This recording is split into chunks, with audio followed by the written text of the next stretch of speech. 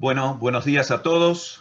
Mi nombre es Antonio Marín, vicerrector de la Universidad del SEMA, y les doy la bienvenida a todos a este ciclo de conferencias que organizamos en la Escuela de Negocios. Hoy tenemos como expositor a uno de los 16 sobrevivientes de lo que fue la tragedia de los Andes hace ya 48 años atrás, a Eduardo Strauch Urioste. No vamos a hablar de negocios ni de economía, sino que él nos va a hablar de la difícil situación que tuvo que enfrentar. Nos va a contar su historia, su experiencia, esa universidad helada que le tocó vivir. Una historia de supervivencia, de mucha incertidumbre, hambre, miedo. Y nos va a demostrar que hay vida después de una tragedia.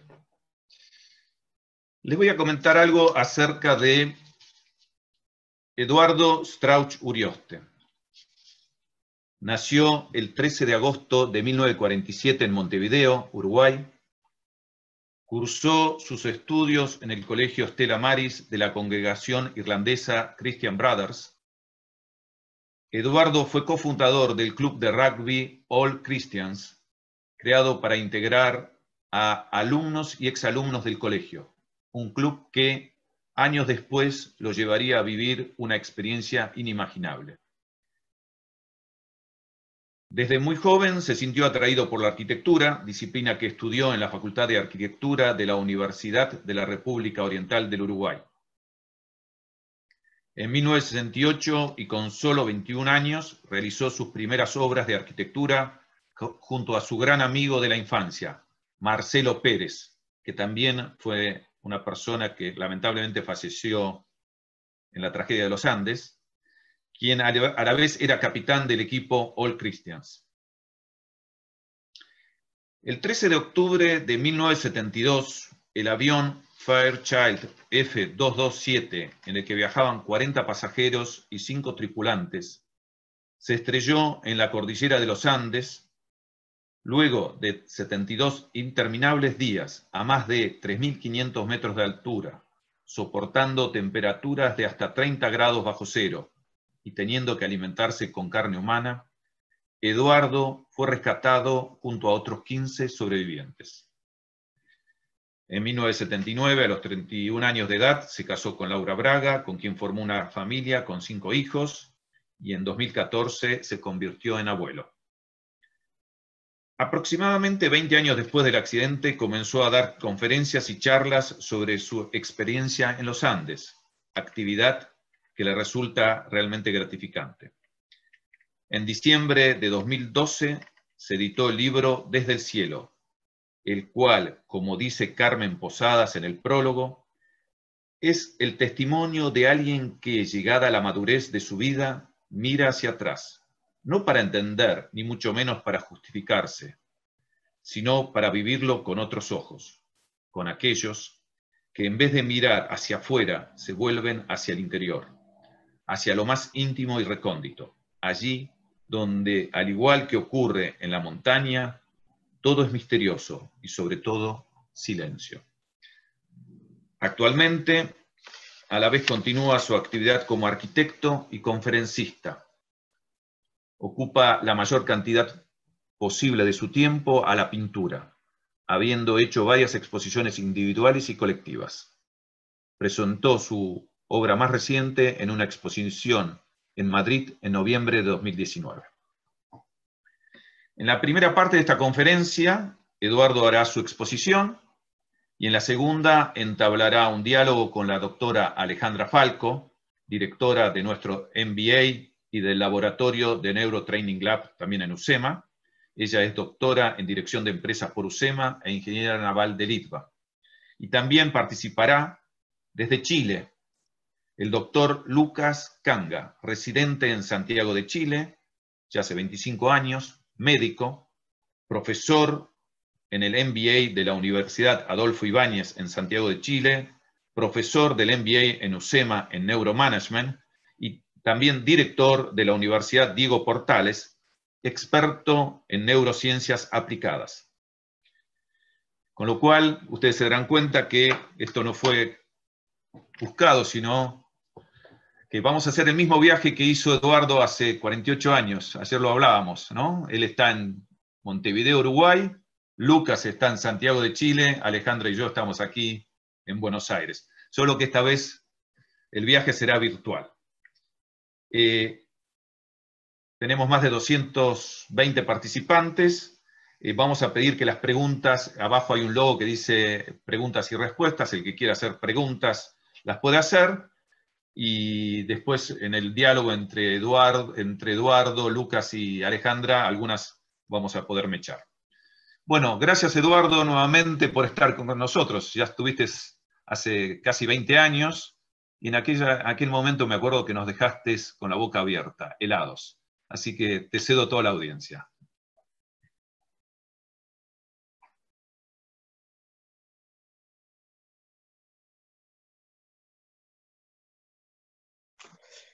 Un gusto estar de vuelta en el SEMA, la verdad que aquella experiencia de hace tanto tiempo ya fue muy, muy buena para mí también, muy positiva, me enriqueció mucho, siempre tengo un recuerdo importante de aquella charla con ustedes. Te, agradezco la presentación, Antonio. Lo único que te corrijo que mi querido libro no es desde el cielo, sino desde el silencio, que es algo muy, muy fundamental y muy importante en toda esta historia y en todos estos 48 años posteriores. Porque sí, considero que sigo viviendo con ese silencio de la montaña alrededor de mí, en mi vida, que tanto me ha enseñado, tanto me ha dado y me sigue dando, el silencio. Algo muy importante para mí.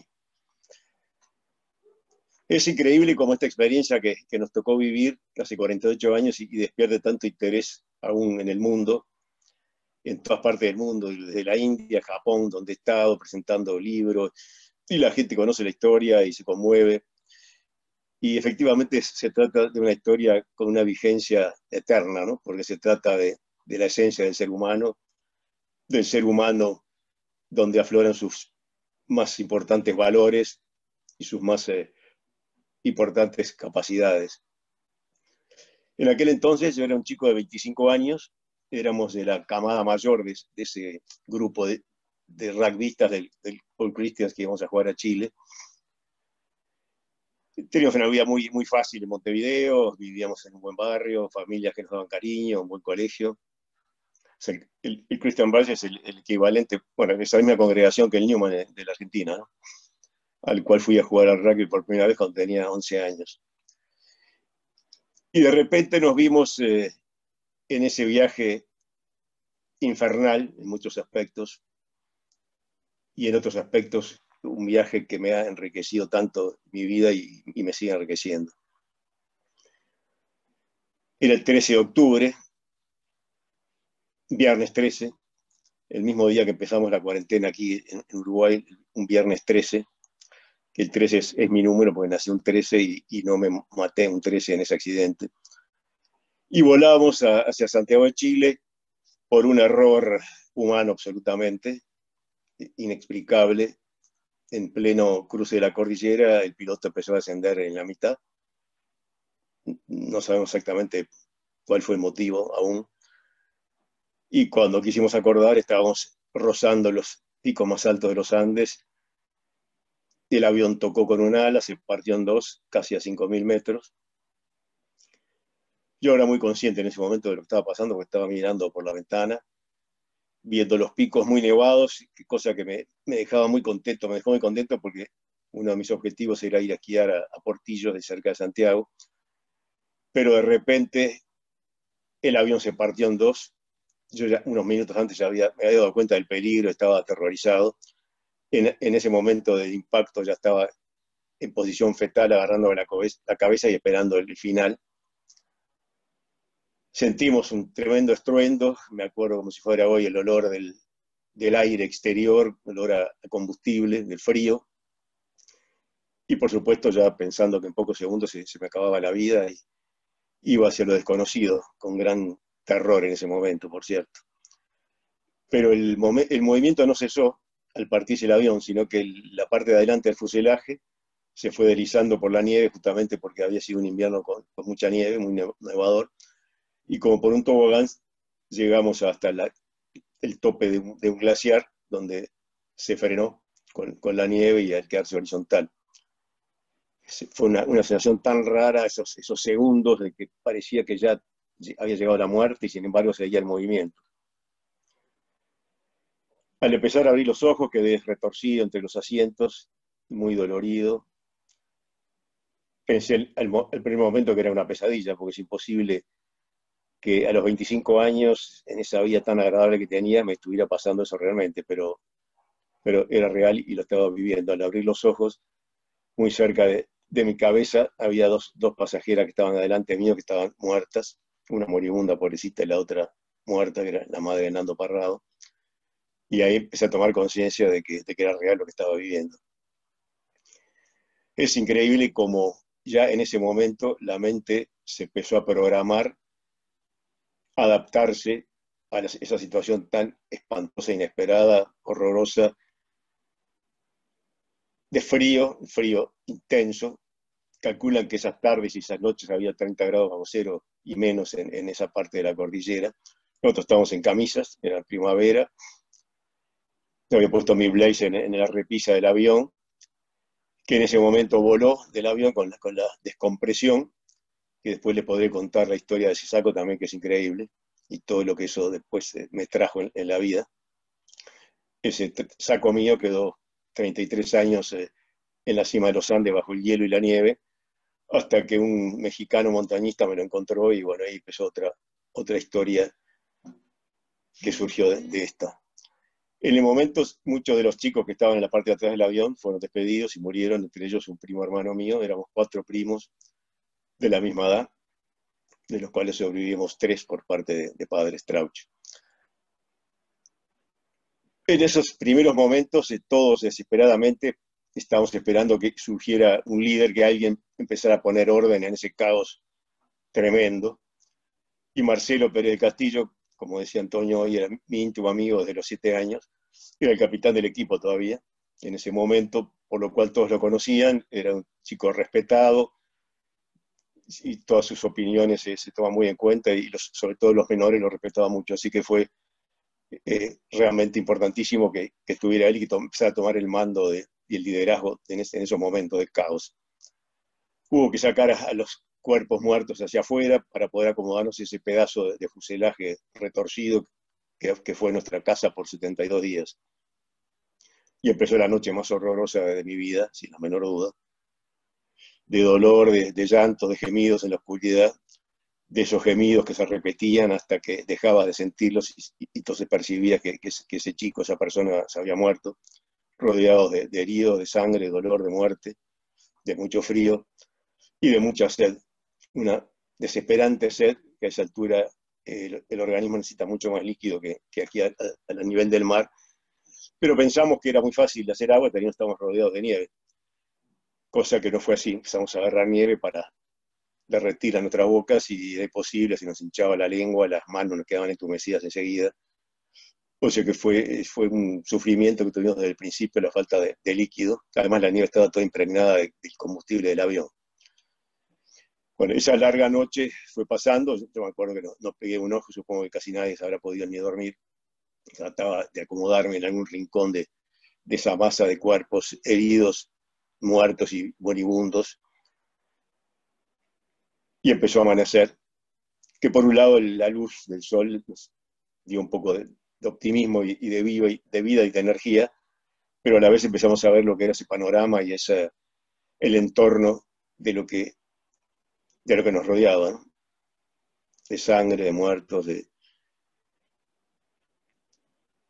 de rostros de desesperación y de angustia. Pero la mente humana es algo tan increíble que a pesar de eso, se, me habían muerto amigos, se había muerto mi primo hermano, y a pesar de eso, la mente inmediatamente se programó para encortar soluciones y sobrevivir y seguir para adelante. Ya desde ese momento era como un, fue como un bloqueo mental que no te permitía entristecerte ni sufrir por lo que estaba pasando, por las muertes de tus amigos.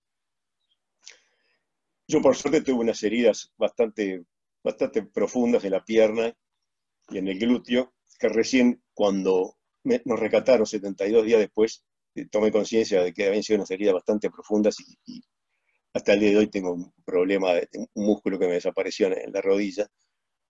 Pero en ese momento sentí un tremendo ardor y dolor y inmediatamente mi mente también se enfocó a, resolver el problema del momento y, y, ver cómo seguíamos sobreviviendo. Siempre con la esperanza, por supuesto, de que ese, ese día que amanecía o quizás el día siguiente nos iban a ir a rescatar. Estábamos en un avión moderno, con un equipo moderno.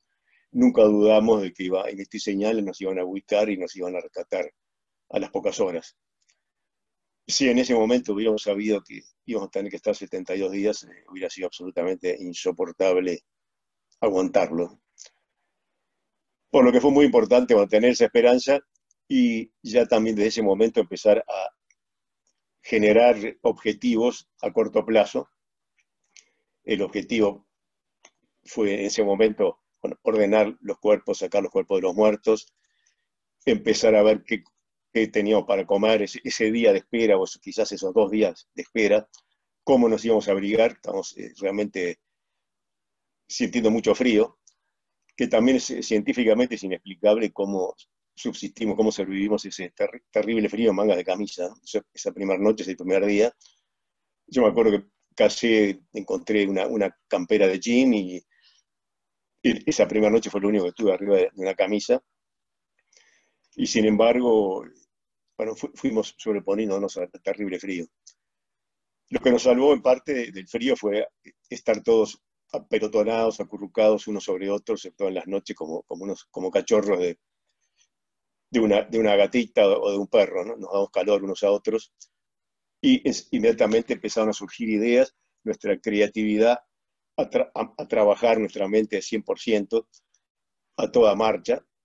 Y creamos una enorme manta con todos los eh, forros de los asientos, que deshicimos los forros de los asientos y los cosimos con alambre de cobre, hicimos una gran manta que nos conservaba el calor humano de, todos cuando, cuando dormíamos, estábamos adentro del fuselaje, que eso fue unas cuantas semanas porque pasamos dentro del fuselaje prácticamente una cuarentena, por lo menos 20 días que casi ni salíamos por el clima que era totalmente inhóspito.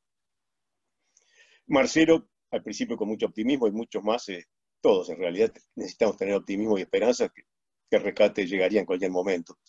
Pero siguieron pasando las horas y los días y no aparecía el rescate. Lo, lo que fuimos eh, comiendo para ir tirando esas primeras horas y días fueron unas pocas cosas que llevábamos a, Chile para regalarle a amigos, que estaba muy desabastecido el, mercado chileno. Unas pocas galletitas, algunos chocolates, algunas botellas de vino. Y tomamos una pequeña copita de vino, una barrita de chocolate, era nuestra ración diaria. Y mientras hubo un trocito de pasta de diente, que era el postre, que lo disfrutamos tremendamente.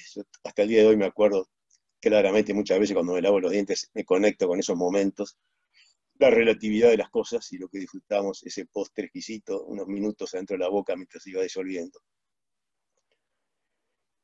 Pero eso se fue, se fue terminando muy rápido, nos fuimos debilitando rápidamente día tras día, porque con eso evidentemente nos daba pena para, para no, no morirnos de hambre, pero nuestras mentes empezaban a flaquear a pesar de que teníamos que usarlas continuamente, el único recurso que teníamos era nuestra mente, nuestra inteligencia, nuestros conocimientos, nuestra educación, nuestra formación, que eso siempre lo recalco, fue tan importante.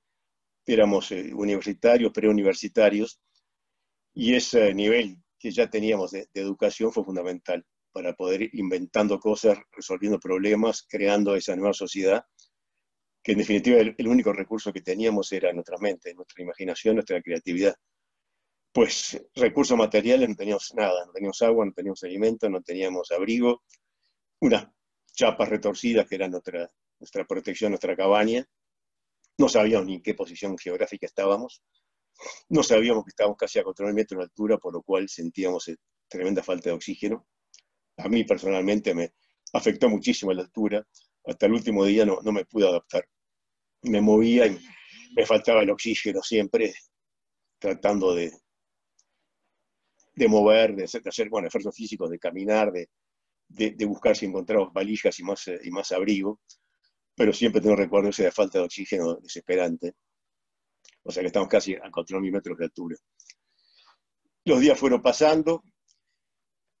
Me acuerdo increíble también eh, en Ando Parrado, que la primera noche pensamos que estaba muerto y quedó con la mitad del cuerpo hacia afuera en la nieve.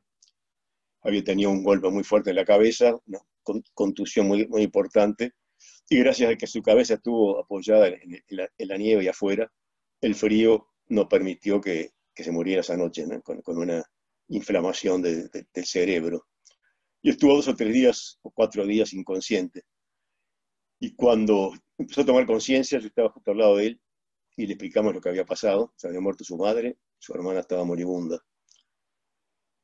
Y fue tal el convencimiento cuando dijo, voy a, salir y voy a llegar a papá a contarle lo que pasó, que a mí eso me ayudó muchísimo. Eso, en todo ese periodo estaba convencido que Nando iba a salir porque lo vi absolutamente seguro. Su mente se programó, para salir e iba a salir. Y unos muchos años después fue muy impresionante cómo se cerró el círculo, porque algo fundamental en, toda nuestra epopeya, en, nuestra historia, en la cordillera, fue el amor. Si no hubiera sido por el amor, no estaría aquí yo hablando con ustedes. El amor eh, en todas sus formas y hacia todas las, cosas y las personas.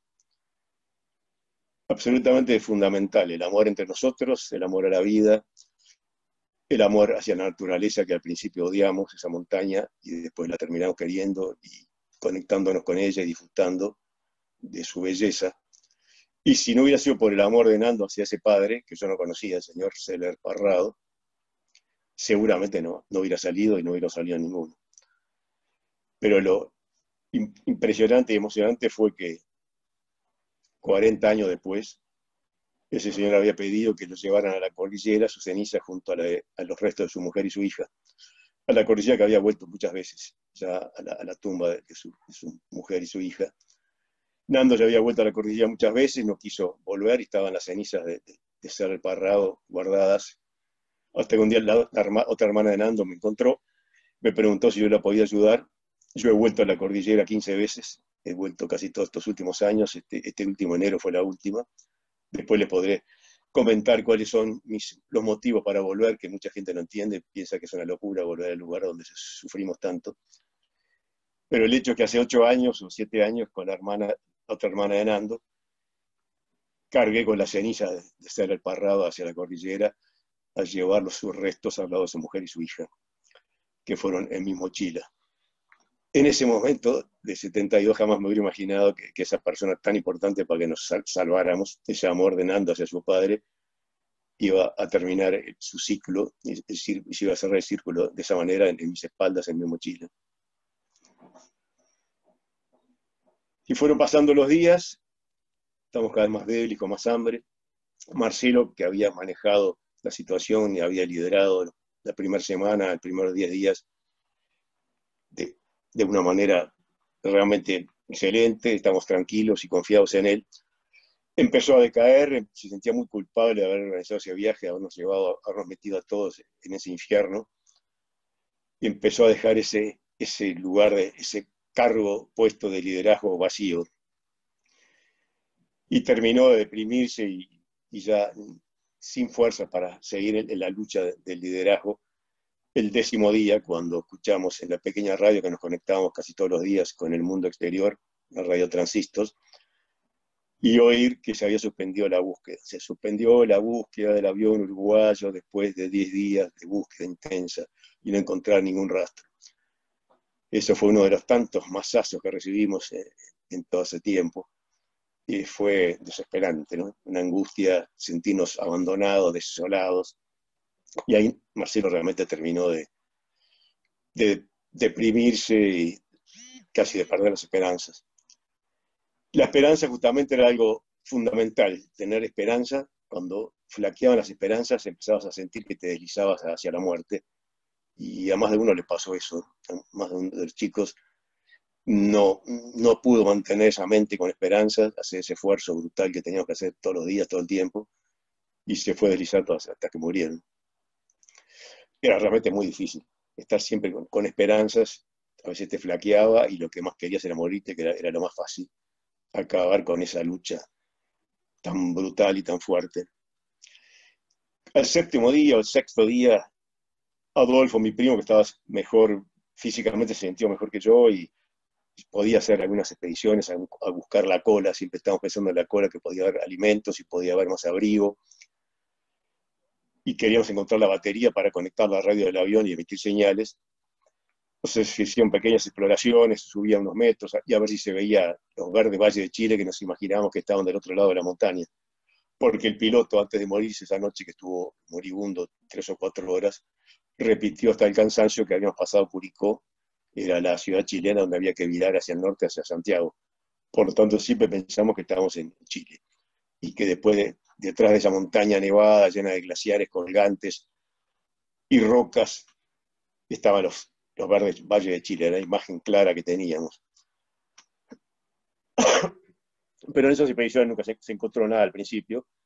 Adolfo volvió un día, en un par de veces que había salido a explorar con otros dos, totalmente exhausto, casi sin fuerzas, ya la mente le, patinaba, y me comenta algo que yo ya había estado, que me estaba, había estado rondando en mi cabeza.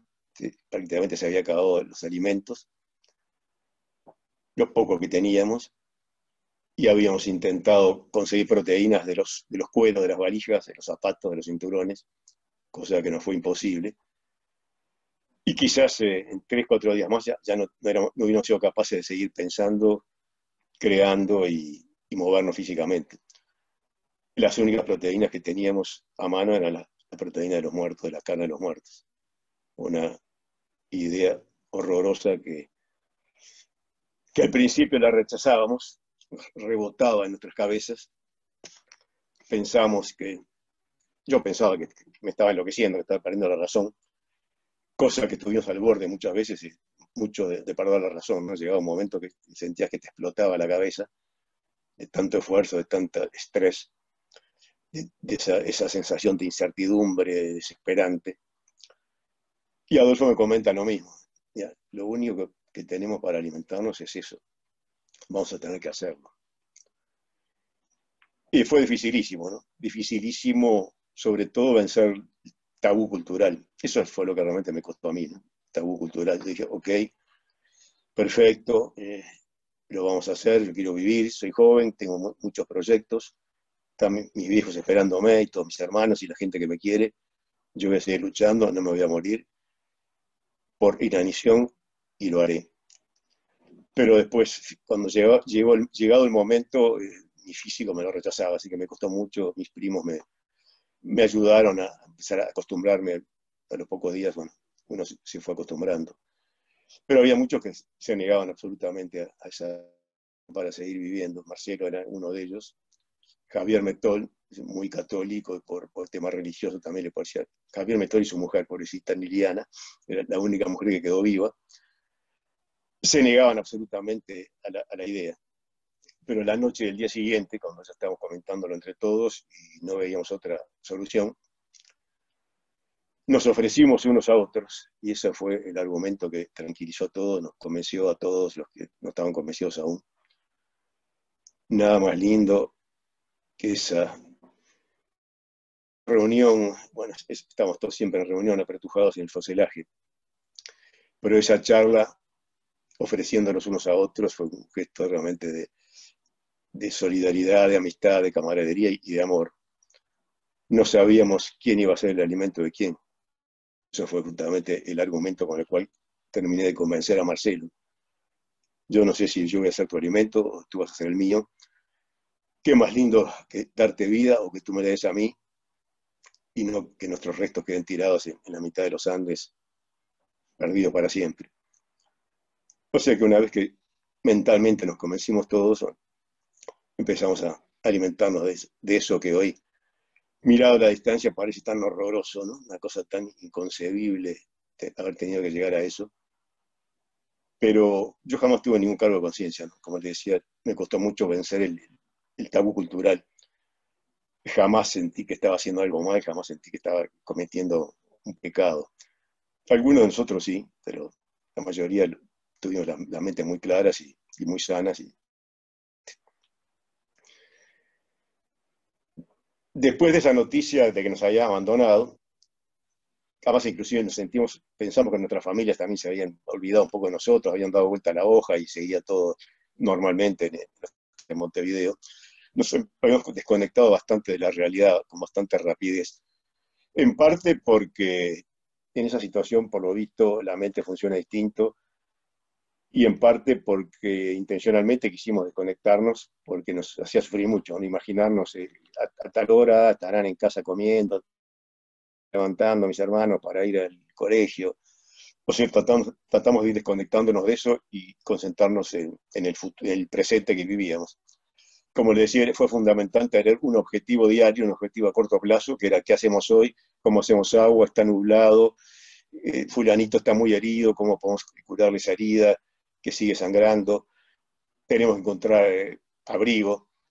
esos objetivos a corto plazo fueron fundamentales, nos, llenaban el tiempo y la cabeza y siempre estábamos creando, imaginando, pensando. Y el otro objetivo fue el objetivo común, fuerte, claro, que eso también es tan importante, ¿no? Cuando hablo, cuando lo, trasladamos al funcionamiento de una empresa, por ejemplo, o de la vida diaria de cualquiera, ¿no? Tener objetivos para vivir, eso es fundamental. Y el objetivo común era llegar a casa era una cosa, una idea recurrente todo el día y era una desesperación pensar que no lo íbamos a lograr. Y cada vez teníamos más confianza de que sí lo lograríamos, pero hay que llegar a casa hay que llegar a casa. Y en todo ese proceso se fueron corriendo los velos y se fueron quedando atrás todos los intereses que, que teníamos antes ¿no? en la vida, en la civilización. Los intereses de, de comer cosas extravagantes o ricas o, mucho o poco, o de viajar o de comprarnos eh, una moto. Todo eso fue absolutamente quedando como nublado atrás nuestro, perdiendo totalmente, total importancia. Y lo único que, nos, que veíamos claro y que nos importaba era eso, llegar a casa, abrazar a los seres que queríamos. Es una, una cosa que hasta el día de hoy me sirve, ¿no? de cómo se fue clarificando todo lo que importa y lo que no importa en esta vida que después a través de los años, del proceso post-cordillera, lo fui perdiendo, tuve que hacer un trabajo para incorporarlo y no perder eh, todas esas, esas enseñanzas que tuve allí, que hoy las tengo muy arraigadas, sirviendo tremendamente. Y fuimos creando esa nueva sociedad con eh, esos abrigos que inventamos con las mantas de, de, los asientos, con unos lentes de sol, pues nos dimos cuenta que nos estábamos eh, empezando a enseguecer con el reflejo del sol en la nieve, Adolfo, que fue muy creativo e inventor, mi primo, se le ocurrió hacer unos lentes para todos con los parasoles de la cabina de los, pilotos, que los cortábamos en pedazos y hacíamos con una carpeta de navegación, un marco y con elástico de, ropa interior o cables de, cobre, hicimos unos lentes de sol, que nos salvó a casi todos de, quedarnos ciegos. Casi todos digo porque voy François, que fue y sigue siendo una persona, divino personaje, pero muy indolente, no se ponía los lentes, le decíamos, ponete los lentes que te vas a quedar ciego y efectivamente a través de los años perdió un ojo y está casi ciego del otro. Así que fuimos armando todos esos elementos para poder vivir en esa nueva sociedad. Por supuesto, modificando todas las normas de convivencia y de, vivencia, las normas de higiene, por supuesto, nunca más nos pudimos lavar, ni lavar los dientes, ni peinarnos, no teníamos un baño, eh, también como todo tan relativo, ¿no? Uno de los momentos de placenteros en las noches heladas era cuando te llegaba una cámara de pelota de rugby, que la usamos para hacer pis y le íbamos pasando de unos a otros, que imagínense lo que era eso, era un asco, pero sin embargo cuando la agarrabas y sentías el calor, te la quedabas un rato lo más posible en las manos para calentarte las manos. Y cuando no hacíamos en esa cámara, Muchas veces yo, a pesar del frío, salía al exterior y tenía un contacto y una conexión tan impresionante con esa naturaleza en silencio, con el cielo nítido, con millones de estrellas que nunca más volví a ver en otro lugar, silencio más absoluto, y tenía que volver del baño antes de, congelarme porque me quedaba como extasiado esas, pocas noches que pude salir a pesar del frío. Y nos fuimos acostumbrando, nos fuimos acostumbrando a esa alimentación, también es algo que hoy, día cuando lo hablamos entre nosotros nos sorprende, ¿no? Como ya al final era como comer cualquier cosa, como comer arroz o fideos. era la única manera de soportarlo. Si cada vez hubiéramos conectado con qué era lo que estamos comiendo, no, no nuestras mentes no, no, lo hubieran soportado. Nos estamos acostumbrando, estamos llegando a disfrutar momentos. Yo especialmente disfruté montones de momentos, que era una, de las herramientas que, que, utilicé para poder subsistir y, que mi mente no explotara. Me desconectaba de ese horror y entraba en estados de meditación espontáneos, que después me di cuenta que era eso. Era unos minutos de un placer y una tranquilidad impresionante, donde mi cuerpo nunca tuvo tan, tuvo tan poca libertad, mi, físico, lo material nunca tuvo tan poca libertad como allí, porque no podía moverme más que 100 metros del fuselaje, y en cambio mi mente jamás fue tan libre nunca más pude lograr esa libertad de mi mente, que se acallaban todos los pensamientos y me iba hacia donde quería con la mente. Sentía que se me expandía por el universo, que me fundía con el universo, me sentí tan parte de, algo, de algo enorme, de, parte del universo. Y eso era como una carga, cargabas los motores y a los pocos minutos volvías de vuelta al horror, pero ya con una, con una carga y con las esperanzas renovadas y con fuerzas y ganas de seguir luchando. Y eso, o sea, realmente empezó a funcionar. Cuando Marcelo dejó el liderazgo, también nos empezamos a mirar a ver qué pasa ahora, quién va a liderar esto. Y naturalmente nos fuimos convirtiendo en líderes los tres primos Strauss, éramos tres primos hermanos de la misma. Nos conocíamos muy bien, nos queríamos. Y fue un liderazgo muy interesante porque nos apoyamos entre los tres cambiamos ideas entre los tres antes de largar la idea al grupo y ver, de tener consenso. Sobre todo fue muy importante, como les decía hace un rato, cuando se nos iba la, esperanza, se empezaba a derrumbar y los otros dos te apalancaban y te apuntalaban y te decían, dale para adelante, vamos a poder, no te desanimes, estamos lográndolo, tus padres te están, te están esperando en Montevideo, no, no aflojes. Y eso netamente me, me daba fuerza de vuelta para seguir. Y era realmente peligroso, ¿no? Yo creo que estaba hace, no sé, minutos o muchos minutos o un par de horas en desesperanza y ya era muy difícil después remontar y volver a tener esperanza. Empezabas a, derrumbarte y a irte muy fácil. O sea que esa nueva sociedad estaba, marchando y el 29 de octubre, un día muy tormentoso, estamos muy estresados, un estrés un estrés eh, continuo era, ¿no? Inclusive me acuerdo que muchos médicos después cuando volvimos nos dijeron que íbamos a, tener un envejecimiento muy precoz por ese desgaste brutal de, 24 horas diarias durante 72 días.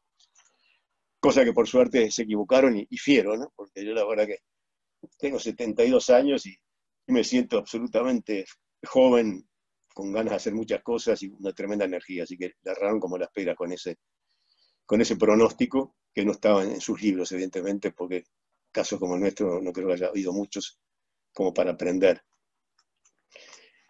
O sea que estamos en un estrés intenso ese día de, ruidos raros que todavía no, conocíamos, estamos, nos estamos amigando con la montaña y conociéndola. Ninguno había vivido en lugares de nieve ni de montaña, no teníamos la menor idea de los peligros y de los goces que se puede tener en la montaña. Estamos arriba de un glaciar, tampoco lo sabíamos, ni sabíamos de los riesgos de, poder caminar y encontrarte en una grieta y, caerte en, fosas de, metros y metros. O sea que por ese lado nos salvó el desconocimiento de la montaña. También teníamos, había quedado la zanja donde se deslizó el fuselaje muy marcada en la nieve, con una especie de, tobogán, de embudo, y nunca se nos pasó por la mente del peligro que era eso para que pudiera por ahí rodar una, avalancha. ¿Qué fue lo que pasó esa noche? del 29 de octubre del 72, a eso de las 9 de la noche. En una plena oscuridad, como estábamos siempre. Lo único que se veía, que gracias también a Javier Metol, que era dueño de una fábrica de cigarrillos, que después la, compró Philip Morris en Montevideo, y llevaba decenas de, paquetes de cigarros para Chile que, que había desabastecimiento para darle, llevarle a amigos y entonces nos, repartimos los cigarrillos del primer día y fumamos cigarros hasta, hasta el último día. Teníamos una cuota de seis o siete cigarrillos por día.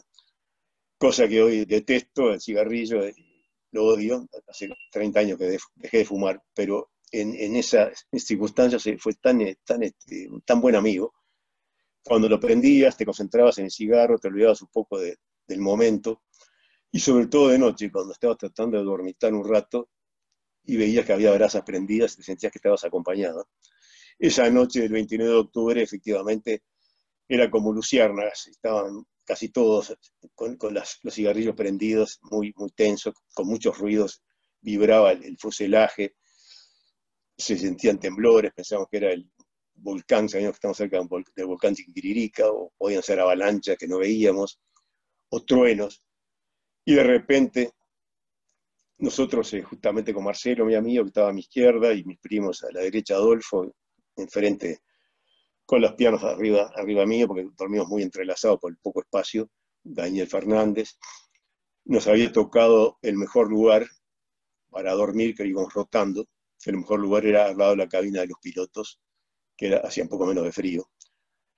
El mejor lugar era ahí donde el piloto, los pilotos jamás los podíamos sacar, así que dormimos al lado de los restos de los pilotos, que, que quedaron totalmente mezclados, entrelazados con los fierros de la, del tablero del avión y la trompa que se hundió, fue una, cosa lo que había sufrido ese, hombre pobre el, último día, esa primera noche, mejor dicho.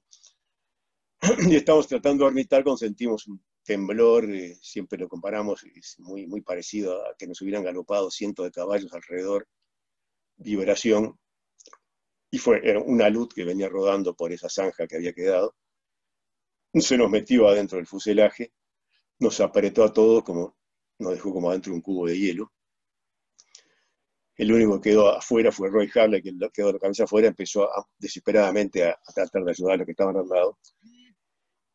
Yo quedé absolutamente metido en, esa barra de hielo, de nieve comprimida, sin oxígeno, sin poder moverme, y empecé el proceso hacia la muerte.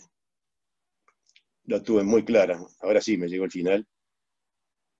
Primero, horror y miedo de ir hacia lo desconocido. Después una nostalgia tremenda de dejar la vida y de no poder concretar todos mis proyectos. Tristeza de no poder ver a los viejos y, los iba a hacer sufrir tanto con, mi muerte. Me pasaban las imágenes como tantas veces hemos oído de, nuestras vidas. Ese, lo relativo del tiempo también, porque en pocos minutos no habrán sido más de dos minutos y medio seguramente, si no, no hubiera podido sobrevivir.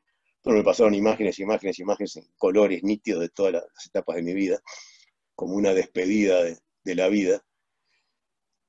Y después de esos sentimientos tan de, miedo, de horror, de nostalgia, de tristeza, se fue aflojando todo, empecé a sentir una tranquilidad, una serenidad y un intenso placer que me arrastraba hacia algo, hacia, hacia un sitio, un placer físico, mental, emocional, era un placer 100% indescriptible, una cosa realmente magnífica. Y llegó un punto hasta donde dije estoy muerto, pasé la línea de la vida y la muerte, a ver qué pasa ahora. Y seguía sintiendo ese placer intenso. Y en ese momento Adolfo, se había aflojado, le habían aflojado la nieve algunos que estaban a su derecha, se aflojó, empezó a salir y ahí me entró una bocanada de oxígeno que me volvió la vida con desesperación al principio. Me quería aferrar a ese, lugar hacia donde iba y, no volver al horror y el sufrimiento de la cordillera. Pero a los pocos minutos ya otra vez estaba con unas ganas de lucharla, con una sensación de, de querer vengarme de la montaña, de ese algo o alguien o lo que fuera que nos estaba haciendo, dando todas esas pruebas duras y las íbamos sorteando una por una.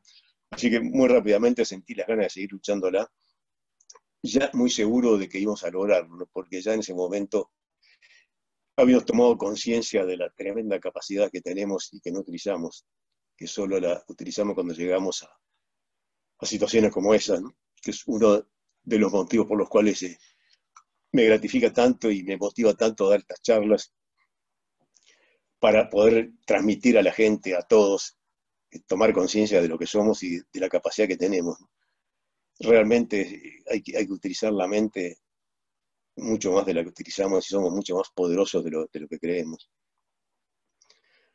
Al poder salir yo y volver a la vida, inmediatamente empecé a escarbar a, Marcelo, que había quedado tapado al lado mío, en la oscuridad, con algunos encendedores, prendían algunos, pero prácticamente a oscuras, con las manos que se te entumecían rápidamente al escarbar en, la nieve en la nieve comprimida. Y Marcelo estaba muerto. Cuando llegué a su cara, también nunca me podría olvidar esa expresión de paz que sentí también como una envidia de que había pasado a ese estado de, de felicidad y de paz y de serenidad. Pero nuestro mecanismo mental, como al principio se había comentado, no nos permitía entristecernos porque era muy peligroso, era muy peligroso perder la esperanza, entristecernos, o sea que sentíase como un chicotazo, un shock eléctrico instantáneo y después la tristeza desaparecía. Se te bloqueaban esos sentimientos y seguías en la lucha. Ahí también se fue la última mujer que extrañamos tanto, porque como dice Roberto Canesa siempre, parece, parece que hubiéramos estado en un laboratorio de experimentos que éramos los, los caballos, que nos probaban con una y con otra y con otra, nos tiraban a la cordillera sin abrigo, sin comida, sin agua, sin alimentos, y cuando íbamos sobreponiéndonos otra cosa y otra cosa y nos dicen que estamos abandonados y que nos buscan más, y cuando sobreponemos a eso y seguimos para adelante, una avalancha que mata a ocho más, y entre ellos a, Liliana, que fue nuestra madre hasta ese momento. ¿Cómo la extrañamos? ¿Qué vacío dejó Liliana, la, mujer que teníamos? Y que solamente una mujer puede decir las cosas que, dicen, esas palabras eh, de una mujer y esas actitudes y ese cariño, sobre todo los, menores que siempre se arrimaban a ella buscando la protección de la mamá, así que fue otro dolor especialmente duro perder a, Liliana. Y Javier, que lo esperaban, lo esperaban cuatro chicos, el mayor de ocho años en Montevideo, quedó, quedó solo. Quedó solo y los días siguientes, cuando pudimos salir, estuvimos tres días enterrados ahí en, el fuselaje, tapados de un, probablemente un metro, metro y pico de nieve, casi no, no, no pasaba la luz del sol. Tuvimos que alimentarnos de los cuerpos de nuestros amigos que se acababan de morir que eso fue también otra cosa, otra vez una cosa muy dura, porque al principio eran pequeños pedacitos congelados que nos poníamos a secar en el, fuselaje, nunca sabíamos mucho de quién eran ni de dónde eran. En realidad fuimos los Strauss cuando nos fuimos transformando en, los líderes y los, únicos que sabíamos de a quién estamos utilizando. Pero eso de tener que alimentarnos con los cuerpos que había estado al lado nuestro vivo recién, eh, fue otro, otro momento realmente durísimo. Y al tercer día nos dimos cuenta que nos estábamos asfixiando, estaba todo atrapado por la venta, estábamos quedando sin oxígeno, los encendedores no se prendían, nos dimos cuenta que faltaba oxígeno y salimos desesperadamente por un hueco que hicimos en la cabina, salimos hacia el exterior. Y ahí empezó como otra etapa, todo ese entorno de, de restos humanos y de mugre, de negrura que había estado alrededor nuestro hasta ese momento de la avalancha, se había quedado tapado totalmente, estaba todo blanco, impoluto, cielo azul claro. Me acuerdo haber tenido también un momento de intensa meditación y meditación y larga meditación al salir y tirarme, tirarme en la nieve y empezar a, a disfrutar de ese sol y de ese cielo, que como le decía, que herramienta fantástica esa mente que te permitía desconectarte por un rato del horror y, conectarte con la belleza de la naturaleza y con tu mente vagando por, por el universo. Y de ese momento ya habíamos empezado a programar la salida final, pues nos dimos cuenta que, mejor dicho, supimos que no nos iban a ayudar de afuera, ya nos sentíamos muy capaces de lograrlo nosotros mismos y empezamos a preparar toda la, logística. Lo primero fue elegir a los tres candidatos para que salieran los tres expedicionarios, los que estaban mejor físicamente, Nando, por supuesto, que estaba programado para salir sí o sí, y los que estaban mejor eh, mentalmente. Se seleccionó a, Nando Parrado, a Roberto Canesa y, a, Antonio Vicentín. que les dejamos comer todo lo que quisieran, les damos los mejores eh, lugares para dormir, para dormitar, que nunca dormimos, yo creo no haber dormido nunca más de media hora o una hora, eran dormitar y despertarte de vuelta, dormitar y otra vez despertarte. Tenías algún sueño placentero y de repente te despertabas y te das cuenta que estabas ahí de vuelta, así que las noches eran largas, externas y, duras. A mí me, acompañó mucho en esas largas noches el cartel de, de exit, de salida, que era lo único que quedaba iluminado unas largas horas antes de que, de que apareciera. Me acuerdo siempre de mirarlo y concentrarme en él y de pensar, vamos a salir, ahí está la salida. Y tan es así que antes del rescate, enseguida tuve la necesidad de sacar ese cartel y traérmelo para, para la civilización, fue, fue lo que hice. El cartel de Exit fue muy, algo muy, muy simbólico, muy importante en, todas esas noches largas. Se fueron preparando, como les decía, esos tres expedicionarios. El, equipo se, conformó también muy naturalmente, que eso es una cosa que siempre lo comento, sobre todo en las empresas, ¿no? Si, si, si cada uno ocupara el cargo que más le gusta, donde puede hacer su trabajo lo mejor posible, qué bueno sería, ¿no? No forzarlo a estar haciendo algo que realmente no te convence de todo, o que, sí, o que no sos capaz para hacerlo y puedes hacer otra cosa mucho mejor ahí sin que nadie le dijera nada a nadie, cada uno se concentró y empezó a hacer lo que mejor podía hacer. Los que podían caminar, exploraron, encontraron la cola al final, fueron dos veces hasta la cola, encontraron algo de abrigo y de alimento. La batería nunca sirvió para nada porque nunca, jamás pudimos conectar esos miles de cablecitos para hacer funcionar la radio. Otros que no podían caminar se ocupaban de, sacar, cuando el tiempo lo permitía, sacar las mantas para afuera, que se secaran, limpiar, ordenar. Yo que me pude alejar unos 100 metros como, máximo, ya me sentía exhausto. Me dediqué muchos días a hacer, marcar una cruz en la nieve. Teníamos unas, unas valijas vacías, las llenábamos con piedras, las arrastramos en la nieve marcando una cruz, con la ilusión de que algún avión sobrevolándonos la iba a ver, cosa que era imposible, pues te alejabas 30, 40 metros y ya no sabía absolutamente nada.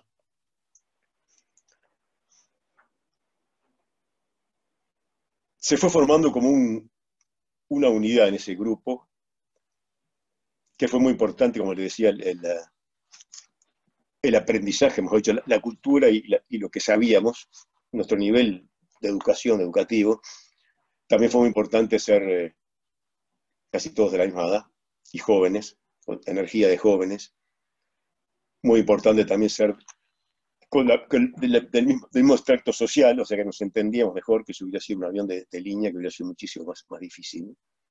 Eso nos, ayudó mucho y nos, realmente nos, convertimos como, como en una, una unidad, trabajando en pos de nuestro objetivo común, que era llegar a casa. Todos con ese amor que nos afloraba, que fue tan fundamental y es tan fundamental en la vida y en encontrar el sentido de la vida, el, amor. El tiempo empezó a mejorar, y al principio muchos querían ya salir, y era, hubiera sido imposible. Los, los tuvimos que contenerlos a más de uno, a, buscar los verdes valles de Chile, cuando te enterrabas en la nieve hasta la mitad de la cintura y las noches eran realmente demasiado frías. Así que fuimos esperando el buen clima. Muchas veces me preguntan cómo estuvieron tanto tiempo y no se les ocurrió salir antes. Sí, se nos ocurrió, pero era, imposible. Fuimos esperando el buen tiempo, preparando toda la logística para los expedicionarios. Hicimos eh, una, una bolsa de dormir con toda la, la aislación térmica del techo del avión, cosa que fue fundamental para las noches que pasaron, las 10 noches que pasaron caminando por la... Unas bolsas con, piernas de pantalones para poner la carne, con los almohadones hicimos unos zapatones para un, hundirse en la nieve. Y éramos en ese momento, a pesar de que alguno de nosotros ha dicho que, que nunca fuimos tan primitivos y salvajes como en la cordillera, yo pienso exactamente lo contrario. Nunca fuimos tan humanos, yo nunca me sentí tan humano como en la cordillera. Yo era, fuimos la mayoría o todos, éramos la esencia del ser humano, éramos nuestra esencia nos sacamos todas las máscaras y los personajes que utilizamos en la civilización, cada uno era cada uno. Y siempre decimos en chiste, pero en serio, que nos conocemos mucho más entre nosotros que lo que nos conocen nuestras mujeres o nuestros hijos o nuestros compañeros o compañeras. Realmente fuimos nosotros, la esencia nuestra, todos en pos de, un objetivo común. Realmente esa camaradería y esa amistad y ese, amor que se fue, cultivando es, algo que ha sido muy importante, fue en aquel momento importantísimo y sigue siendo muy importante en mi vida. Fueron pasando los días, el tiempo empezó a mejorar, ya era principios de diciembre. Ya cuando empezó el mes de diciembre, el mes de Navidad, empezamos a sentir otro peso y otra angustia terrible de imaginarnos que tener que pasar Navidad y Nochebuena allí, en aquella circunstancia, en, ese lugar. Por lo que estamos todos ya resueltos a, que eso no, iba a ser así. En el peor de los casos íbamos a salir, caminando como fuera y morirnos donde fuera.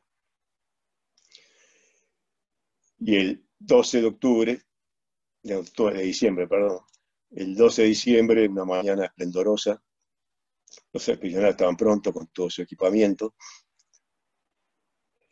salimos a despedirlos con esa belleza inconmensurable de, los Andes a esa hora del día, que empezaban las primeras sombras desde el oeste, el sol saliendo atrás del soñado del este por la Argentina. Estaba muy nevado, inclusive en diciembre, sé que estaba, muy, muy limpia, muy linda. muy linda la, la cordillera.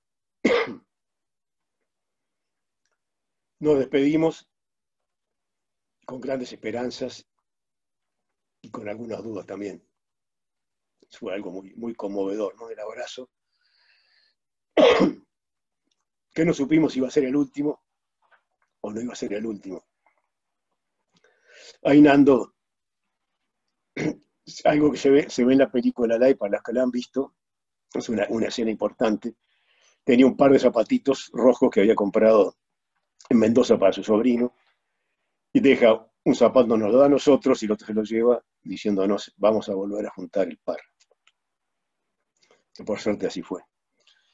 Y salieron caminando hacia esa pared que supimos después que son mil metros casi verticales, pensando que al día siguiente ya iba a aparecer el rescate, que, ese mismo día nos íbamos a ver desaparecer por la cima de la montaña, pero no fue así. Nos vimos subir la montaña durante tres días y acurrucarse en los puntos de rocas para pasar las noches, cosa que nos empezó a poner muy nerviosos y, y nuestras esperanzas empezaron a flaquear. Y al tercer día, que llegaron a la cima, vimos uno de los tres puntitos que viene deslizándose por, la montaña hasta, hasta llegar al fuselaje, era Antonio Vicentín. ¿Qué pasó? ¿Qué pasó, Tintín? Que, se, murieron los otros, ¿por, qué volvés? Y nos explica que se, llegaron a la, a la, cima, se arrimaron para ver los verdes valles de Chile y lo único que vieron fueron kilómetros y kilómetros de montañas y nieve y roca. Por lo que decidieron que volviera uno y que dejara más abrigo y alimento para los dos que iban a tener que seguir. Y ahí empezó una, espera de 10 días, que tampoco nos imaginamos si nunca, si nunca nos imaginamos que iban a ser 10 días, con esperanzas, todos los días nos conectamos por la radio, oíamos noticias y ya estaba hablando de la Navidad y de las playas llenas de gente, el verano empezaba, y esa, cada vez que oíamos esas noticias, sobre todo de, la Navidad y Papá Noel y los centros comerciales llenos de gente, nos estrujaba el corazón, era intolerable esa idea. Nochebuena en los Andes. Pasaron dos, tres días, cuatro días. Era tal la, la soledad y el abandono que llegamos a sentir, porque éramos los únicos seres vivos. Por un lado, por suerte, no había ni microbios, ni bacterias, ni virus, ni líquenes, ni nada era la roca, el hielo, la nieve y nosotros.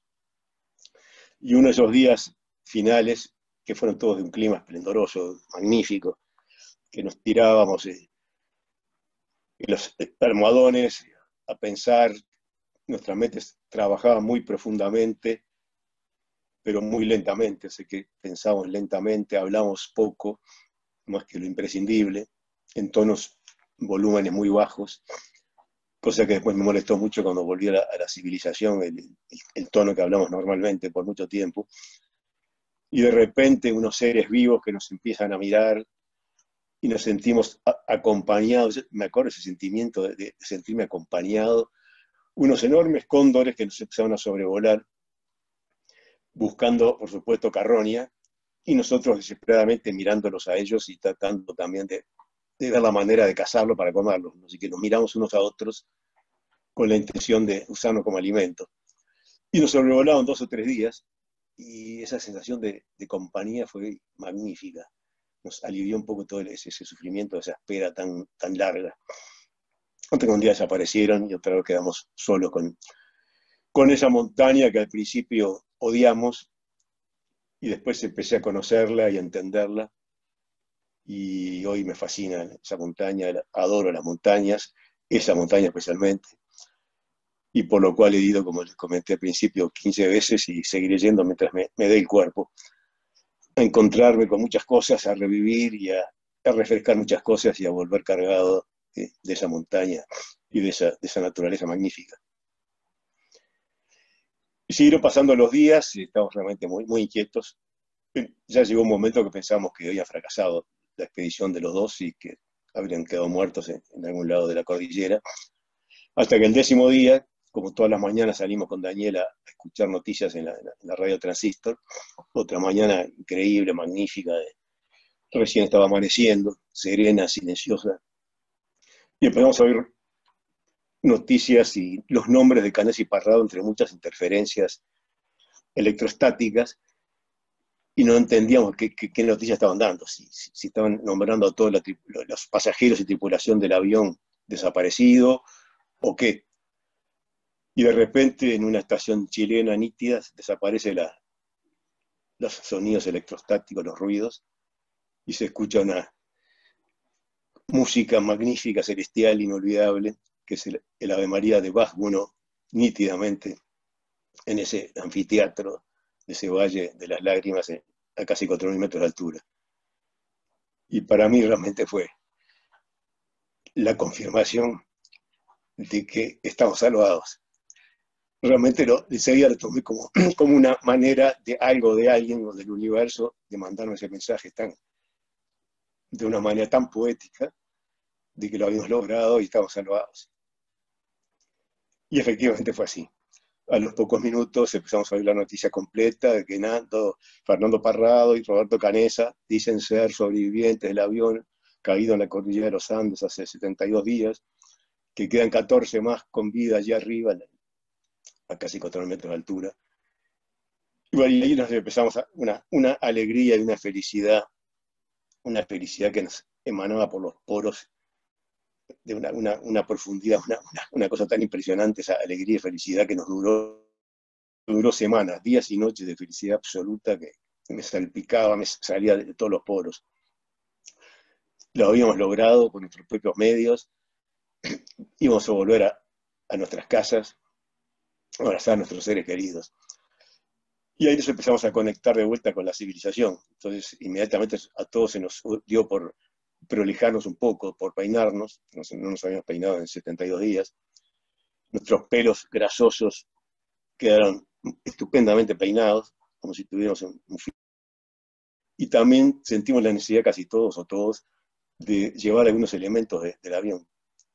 Yo me acuerdo que junté enseguida, como le decía, el cartel de Exit, que fue ese compañero que tuve todas esas noches. Hice un bolsito con, unos trapos de los, asientos. También me agarré las, herramientas del avión, regias herramientas, tornillador, una llave inglesa. Y me acuerdo que era tal la desconexión con la realidad que teníamos que, que Daniel me dijo, ah, no, no, te puedes llevar eso, que, es, es, es, de, es, de, la Fuerza Aérea, ¿cómo te vas a afanar esas herramientas? Era una conexión total. Y a pesar de todo, ah, me, las llevo igual. Y ya empezamos a planear nuestra llegada a casa con, mis otros dos primos. Nos imaginamos yendo a Santiago, bueno, no sabíamos dónde estábamos en realidad, pero yendo de Santiago a Buenos Aires en tren, después cruzar en, el vapor de la carrera a Montevideo, ir a la casa de, unos parientes a llamar por teléfono a nuestras casas para que nuestras madres y padres no se impactaran demasiado si, nos veían aparecer en la puerta tocando el timbre. Y nunca nos imaginamos qué diferente iba a ser todo ese proceso de, de vuelta a la civilización.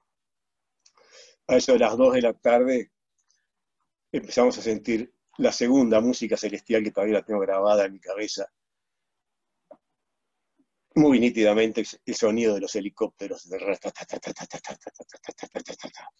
que lo imaginamos mil veces, y cuando había temblores o truenos, pero nos imaginamos, vienen helicópteros, hay helicópteros, son helicópteros.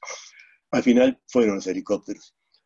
Y miramos al cielo y no aparecían los helicópteros, cada vez los ruidos, el sonido más cerca, ya todos muy pronto con nuestros bolsitos y, nuestros, pelos peinados. Y de repente aparecieron los helicópteros por el valle, no habían podido cruzar por, por la cima porque estaba muy pesado con mucho combustible. Eh, había turbulencias a esa hora de la tarde, así que, tuvieron que cruzar a la Argentina ilegalmente desde Chile y, aparecieron por el valle por abajo. Tres helicópteros que nos había mandado el presidente Allende con sus mejores pilotos. Algo increíble, imposible de, de, transcribir y de, transmitir la alegría de esos momentos. Estamos salvados. Los helicópteros no pudieron tocar apoyarse en el glaciar porque era muy inclinado y había mucha turbulencia, muy peligrosos y quedaron suspendidos a unos metros. Y ahí los que fuimos llegando primero, bajaron unos recatistas, nos ayudaron a subir. Subimos cuatro en un helicóptero, tres en otro y partimos hacia, hacia la vida y quedó la mitad de nosotros quedaron, quedaron hasta el día siguiente, pues no lo pudieron ir a rescatar por, el clima que se puso muy, bueno, las turbulencias muy, muy peligrosas de tarde, así que pasaron una noche más en, la cordillera. Y al empezar a alejarnos de, ese lugar, de nuestra casa por 72 días, donde habíamos creado esa nueva sociedad, y habíamos logrado tantas cosas, y habíamos enterrado a nuestros amigos, y habíamos aprendido tanta cosa tan importante de nosotros mismos y de la muerte y de la vida y de la importancia del amor, nunca nos, imaginábamos que en la alegría y la, euforia de estar salvados íbamos a sentir nostalgia. Cuando ese fuselaje rápidamente empezó a achicarse y a desaparecer entre las manchas de las rocas y la nieve, pensamos todos, nunca más volveremos aquí. Lo que hemos creado, lo que hemos logrado, este lugar tan importante, lo que hemos gozado, donde quedan nuestros amigos muertos no volveremos más. Y nunca me imaginé que iba a volver 15 veces, ¿no? Y, quizás más a ese lugar. Fue muy difícil cruzar para el otro lado de, la cordillera, el, helicóptero no le daba, la, no le daba la, potencia para, en ese aire tan liviano, para pasar los picos. Así que también tuvimos otro último momento realmente peligrosísimo, en lo que íbamos en el helicóptero, en el helicóptero nuestro, el, helicóptero empezó a trepidar y el, viento la llevaba para un lado y para el otro, se nos acercaban los, los picos de un lado y del otro y no le daba la altura para, para pasar. Los pilotos los veíamos que sudaban a la gota gorda y se miraban entre ellos, muy concentrados, y atrás los cuatro que íbamos nos empezamos a reír, y los pilotos no, entendían lo que estaba pasando. Nos empezamos a reír porque ya nos parecía una, una ironía demasiado grande del destino ya estamos familiarizados con la muerte y, estuvimos convencidos en esos momentos que, de que nos íbamos a morir ahí, ¿no? porque fue realmente otro momento durísimo. Pero la muerte nos había rondado, nos acostumbramos a la muerte, mi concepto de la muerte había cambiado totalmente. Así que nos reímos, pero por suerte a los pocos minutos nos pudimos seguir riendo, no, con mucho más ganas. Cuando pararon el Valle de los Maitenes para hacernos una revisación, había médicos esperándonos, enfermeras, se abrió esa puerta del helicóptero, entró una bocanada de aire con olor a pasto y oxígeno, mucho oxígeno, momentos también inolvidables. Sí, sentí bien como si hubiera vuelto a nacer, fue increíble. Se estuviera saliendo del vientre de mi madre hacia la vida, pero un nacimiento logrado por mí mismo, una vida que yo había, logrado recuperar, una sensación de, orgullo, de satisfacción. Nos abrazamos con, Parrado y con, con Carlitos Páez en, el pasto, lleno de tréboles y olor a, hierba fresca. Y yo muy románticamente le di una flor, una, flor, un perfume que hacía meses que no, sentíamos, no sentíamos ningún tipo se lo di a Carlito, Carlito se lo comió y empezamos a, comer tréboles y flores de tréboles con, fruición. Fue la primera comida después de, nuestro salvataje. Y ahí empezó otra etapa que pensé que iba a ser de absoluta felicidad y, ya sin problemas, pero fue bastante más difícil de lo que imaginaba y, tuve que, lucharla para volver a, a la normalidad, a la nueva normalidad, como está de moda decir ahora. Pero esa, esa, historia realmente me ha servido hasta el día de hoy. Es, es muy impresionante todo lo que he aprendido. Sigo, sigo conectado, como siempre digo. Siento, me siento unido con un cordón umbilical a la cordillera, no quiero cortarlo. Vuelvo todos los años y trato de transmitir todo lo que aprendí de lo que somos y lo que podemos los seres humanos. Eh, mi, mi, mi, conferencia al principio, y bueno, en realidad son como dos tipos de conferencias, digamos, pero el nombre es Exit, de salida en inglés y de, éxito, de lograr las cosas, ¿no? que siempre se encuentra una salida. Pero en los últimos meses le he cambiado el nombre por querer es poder. Querer es poder en los, dos sentidos. Querer, querer lograr algo y se, y, se logra si, si, se, si uno se lo propone, con determinada actitud, con esfuerzo y sabiendo la capacidad que tenemos, querer es poder. Y también el querer de amar es un tremendo poder. El, amor es un tremendo poder. Evidentemente, sin el amor no se logra prácticamente nada. O sea, el poder del amor y el poder de la voluntad y de una actitud para querer lograr algo.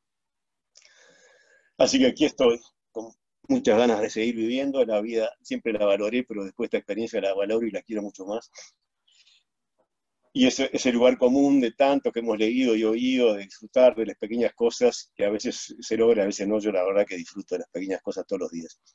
Si llueve, si no llueve, del perfume de, la lluvia recién caída, o, de los truenos, o, del sol o de un amanecer. Ahora en esta cuarentena magnífica que estoy haciendo en el campo, estoy muy, muy conectado con todo esto y realmente disfrutando todo esto. Y a la vez la muerte no le temo lo más mínimo, realmente tengo una, un sentimiento totalmente distinto de la muerte del que tenía antes. Y estoy seguro que el paso hacia la muerte va a ser como el que casi tuve o tuve en, la cordillera. Y después si, si me equivoqué y es distinto, ya va a ser tarde, así que yo estoy convencido que mi muerte va a ser así, un pasaje placentero hacia algo o hacia nada. Que es otra de las cosas, ¿no? Yo pienso que después de la muerte, a pesar de todo, esa, esa experiencia que tuve, creo que no hay nada, por eso que le doy tanta importancia a la vida y hago, no, no pierdo el tiempo, quiero dejar un legado lo más grande y lo más importante posible. Teniendo hijos, educándolos, eh, teniendo amigos, transmitiendo esto, pintando, haciendo mis obras de arquitectura. Así que la tengo muy clara y, y en eso estoy. Wow, deberíamos aplaudir ahora. Eh,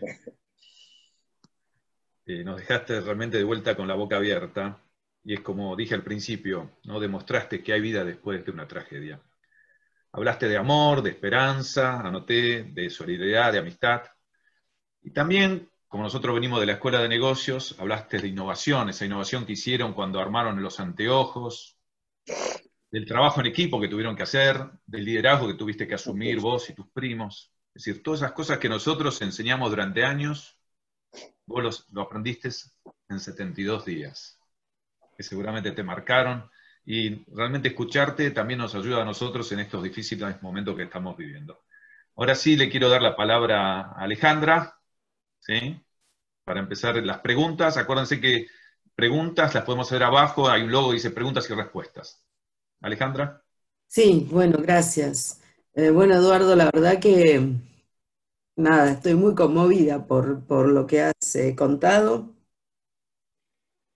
Em, decía, como dice Antonio, nosotros enseñamos negocios, eh, tantas cosas de las que mencionaste, que tomé nota, surgieron en esta experiencia. Me quedé con una me quedé con una palabra. Vos hablaste del, silencio de la montaña.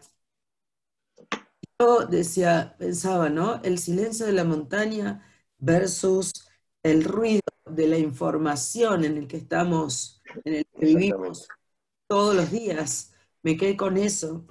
me quedé con otra cosa que dijiste, que tu mente nunca fue tan libre.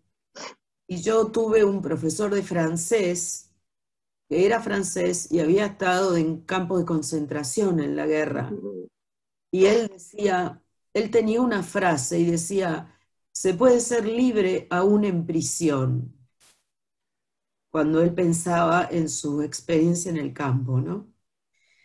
Me, eh, impresiona, perdóname que te interrumpa, pero eso me impresiona mucho y me, emociona mucho, mm. porque mi libro de cabecera es el de, Víctor Frank. Sí. exactamente dice eso y me siento tan, eh, tan identificado en tantas de esas cosas. La última libertad del ser humano es la actitud que tomes claro. frente a, las circunstancias, y, es, tal cual. Después me quedé pensando ¿no? en esto de la, del, del, del propósito eh, vos decías que, ustedes este, tenían, tengo acá mis anotaciones, ¿no? Ustedes tenían clarísimo, clarísimo que había que llegar a casa. Este, el objetivo. El objetivo, clarísimo el objetivo, y que ese objetivo actuó como, como un, este, bueno, nada, como un fuego eh, que, los hacía dejar de lado, no entristecer, esto no, no, no, no nos podemos permitir ciertas cosas para poder lograr entristecernos o deprimirnos, para poder, para poder lograr el objetivo. Y la otra cosa que me, pensaba era, qué chiquitos son algunos de los tantos problemas que tenemos en las organizaciones. No digo que puestos en perspectiva, eh, son chiquitos. ¿ok? Son tan chiquitos y nos hacemos a veces eh, grandes problemas por cosas que puestas en perspectiva resultan tan chiquitas. Eh, con Lucas compartimos la pasión de navegar. Oh, qué lindo. También ha estado en situaciones extremas y a mí me ha pasado de, bueno, también de tener un accidente y, y, estar a punto de hundirnos y tener que, y además otro barco hundiéndose y, y, pensar en ir a rescatarlos y pensar en cómo y cómo los salvamos y, cómo hacemos y en, medio de la noche, en medio de las olas, en medio de un viento tremendo que no nos podíamos acercar y tratar de imaginar cómo salvar a esa gente y cómo, cómo subirlas a nuestro barco y que también estábamos a punto de hundirnos bueno, en fin, eh, no nos hundimos finalmente, em, pero bueno, nada, y en ese momento uno no piensa en nada, ¿no? O sea, está tan, tan concentrado en, lo que tiene que hacer y tan alejado de todo lo mundano, ¿no? Y todo esto me vino a la cabeza mientras, mientras vos este, compartías esta experiencia tan intensa con nosotros. A ver, voy a, voy a empezar a mirar algunas preguntas. Em, o algunos comentarios, querido Eduardo, dice, no me da vergüenza decirlo, me hiciste llorar y a la vez me diste fuerza para superar lo que estamos pasando. Muchas gracias por tu lección de vida. Es asombroso cómo el ser humano puede adaptarse, ser creativo y tener energía cuando tiene objetivos a cumplir. Te envío Así es. Eh, después acá te preguntan si sos creyente, si tenés alguna hipótesis de por qué te tocó a vos y, eh, atravesar esta experiencia? Mira, eh, ¿te contesto esa? Sí, por favor. Mira, esa pregunta de por qué a mí no me la he hecho nunca yo, y muchos de nosotros sí se la han hecho. Yo nunca me la hice porque tengo clarísimo que nunca voy a tener una respuesta. Entonces eh, miro para adelante y no, o sea, pienso, pensé que nunca, no valía la pena perder tiempo en, en preguntarme y cuestionarme eso que nunca voy a tener respuesta. Y lo segundo, yo fui educado en un colegio católico, la familia de mi madre, vasca, Urioste, por supuesto también todos muy católicos, primera comunión, y fue un católico muy, muy piadoso y, practicante, diría que hasta los 15, 16, años. Me acuerdo haber ido a Bariloche, el primer viaje con el colegio, tenía 14 años, y estaba así, un estado casi místico, unas misas ahí en, los bosques, al lado de los lagos, y realmente era muy católico, hasta que empecé un proceso, quizás a esa edad, un poquito más, un proceso como de, alejamiento de la religión católica, de, de, cuestionar una cantidad de cosas, de analizar, y cuando llegué a la cordillera ya estaba eh, sin religión prácticamente. Rezamos mucho rosario, que eso mucha gente me lo pregunta, y sí, yo rezaba rosario, pero rezaba como un mantra que nos ayudaba mucho entre nosotros. ¿no? Bueno, la oración es eso, en buena parte es un mantra, repetir, repetir, estamos en un estado que nos alejaba un poco del horror y nos sentíamos muy unidos entre nosotros. Pero al salir de la cordillera tuve las cosas clarísimas, eh, ya no practico ninguna religión, soy muy espiritual, tengo gran fe en mí mismo, en el ser humano, estoy muy, muy eh, vinculado, muy integrado con, con, el universo. O sea, cuando voy a la cordillera o voy al mar o voy al campo como estoy ahora, eh, siento realmente como parte de, de, ese universo y me acerco un poco a esos momentos de meditación y de espiritualidad total. Así que no tengo religión, tengo mi religión, vivo con mi religión propia, que es mucho más difícil ahora que estoy solo con mi religión que, antes que me decían que tenía que hacerlo.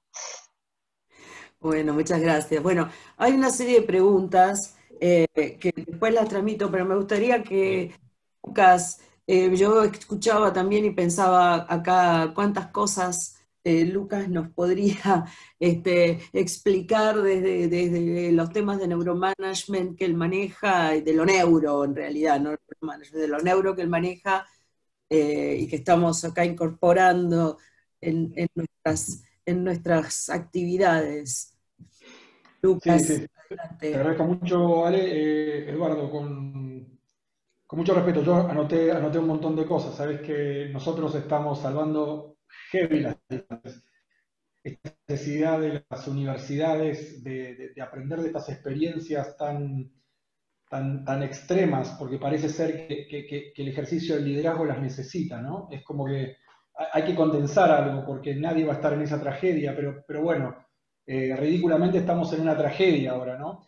Eh, y, nosotros estudiamos el cerebro, de hecho en el UCEMA, alguna vez, ojalá puedas, por favor, me encantaría tener la capacidad o, o la oportunidad de que me dejes cablearte un, ratito, Eduardo, para, para nosotros saber si a organizar algo. ¿Está bien? Sería algo fantástico. Eh, pero bueno, estamos enrollados nosotros con el tema del aprendizaje. Eh, el humano ha entendido a través de muchísimos estudios que una forma de aprender es el trauma. Es lamentable, pero un segundo de trauma hace más que quizás que años de aprendizaje formal en la universidad, en el trabajo. Eh, me gustaría hacerte una pregunta muy, muy concretita aprendiste un montón de cosas, es verdad, el aprendizaje con H, ¿no? Ese aprendizaje que no tiene que ver solamente con, con, que pase por un área de la memoria, sino que se te queda en, muchos sistemas. Pero me gustaría saber de lo que aprendiste, que fue súper relevante, ¿qué decidiste luego desaprender, Eduardo? ¿Qué te sirvió para 4.000 metros? ¿Qué te sirvió para, para, para enfrentar a la muerte? que te, que te enseñó a inhibir cierto tipo de sistemas motivacionales, emocionales, para poder hacer ciertas cosas eh, contra un beneficio mayor. Posiblemente se cultivaron centros muy, muy profundos, donde hay centros, Eduardo, que cuando uno siente demasiado hambre, eh, envía señales e inhibe ciertas eh, otras áreas, evidentemente. Pero ¿qué desaprendiste, Eduardo? Eh, ya pasaron bastantes años. Esta pregunta, dos años después no te la puedo hacer, pero, pero me encantaría conocer qué de verdad dejaste, soltaste, que ya no te sirve más. Mirad, desaprendí, desaprendí muchas cosas y fue relativamente fácil porque, como les dije en algún momento, fuimos viendo claramente lo que importa y lo que no importa. Entonces fuimos viendo la importancia del amor, eh, es fundamental, de las pequeñas cosas diarias, la, importancia de saber y de estar receptivo a disfrutar de todo, de todas las pequeñas cosas. O sea que muchas de las cosas que tuve que desaprender para vivir esos 72 días, las dejé desaprendidas y cuando, volví se me prendían de vuelta. tuve que hacer un, trabajo de... Bueno, una de las cosas que desaprendí también es la, la necesidad de consumir, por ejemplo, que es una cosa que, es tan peligrosa y tan nociva en el mundo de hoy. Y se lo he inculcado a, mis hijos de, que realmente vivir con lo necesario y no con todo el superfluo y vivir desesperado atrás de cosas que no nos llevan a ser felices. O sea que desaprendí a desapegarme de, de todo ese tipo de cosas materiales, que por supuesto me gustan con cualquier persona, pero son totalmente secundarias. Y te diría que básicamente es eso. Y aprendí, aprendí la importancia que es aprovechar el, momento. Aprendí, ya, dije muchas de las cosas que, aprendí, ¿no? Aprendí a, ir haciendo para dejar un legado después de que, que uno se vaya. ¿Y qué otras cosas desaprendí? Que, te que hayas aprendido durante la experiencia y que después desaprendiste después. ¿Alguna que te, que, te venga a la mente? Que ya no la necesitaste más porque no estás, estás en un bonito lugar, incluso Montevideo está por debajo del nivel del mar. Sí, sí. ¿Qué las diferencias? ¿Qué desaprendiste? Sin duda. Bueno, una, una, de las cosas que, que tuve que desaprender es uh, a, no, a, no, pensar en, las cosas que no eran esenciales ¿no? en ese momento o sea, desaprendí a pensar en todo lo que no fuera fundamental para sobrevivir. Desaprendí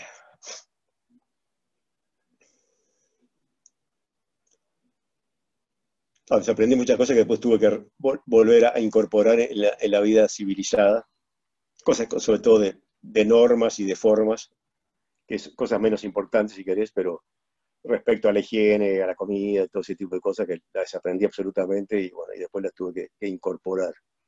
Cosa que me, molestó y me costó bastante cuando volví tener que volver a, cargar con la cantidad de cosas que no me, sabía que no me sirven, pero para convivir eh, aquí tuve que tomarlas de vuelta y, y aprenderlas y ponerlas en práctica.